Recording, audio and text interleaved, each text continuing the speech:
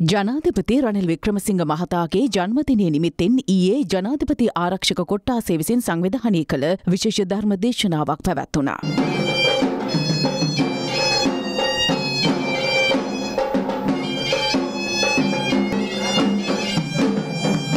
කරන්තිනිය ඇත්කඳුර සිරි නන්දාරාම විහාරස්ථානයේදී ජනාධිපති ජන්මදිනයට සෙත් පතා එක්සත් ජාතික පක්ෂ සභහපති පාර්ලිමේන්තු මන්ත්‍රී වජරාභයවර්තන මහතාගේ ප්‍රධානත්වෙන් ආශිර්වාද පින්කමක්ද පැවැත්වුණා.